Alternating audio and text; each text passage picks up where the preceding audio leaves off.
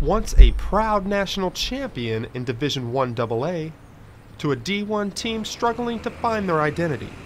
Last year, the Tops ended the nation's longest losing streak at 26 games, but they have yet to pull down a win on the Hills since September 20th, 2008. So I went to campus and posed this question What is the state of Western Kentucky football? Last game it rained, so that wasn't very fun, but even though we lose, we seem to have a lot of fun.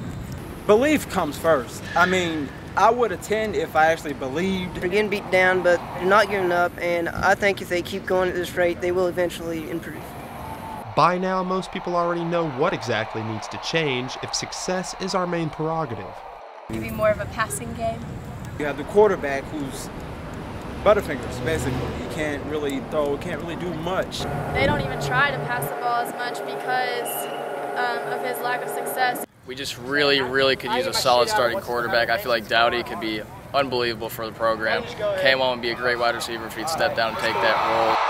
Putting the kid under center doesn't sound like a bad idea, given Jakes has no touchdowns and five picks in two games.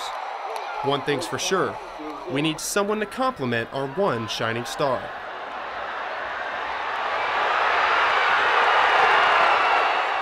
I'm his biggest fan. I have his jersey.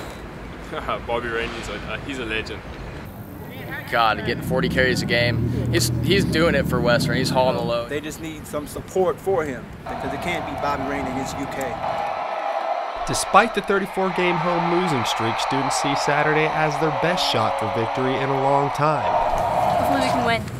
I hope so. They need someone that they could, you know, whoop up on after the first couple games. They beat them before they're going to go in with attitude that they can beat them again. So I think they have a good chance at winning. So I'm very confident going into this game against Indiana State. You know, I think they're hungry for a win, so I think they're going to really show out. Just one home win, I think that'd make a huge turnaround for the Hilltoppers. Although the Tops have been outscored 54 to 17 in their first two games, WKU has reason to believe that this game could be a different story.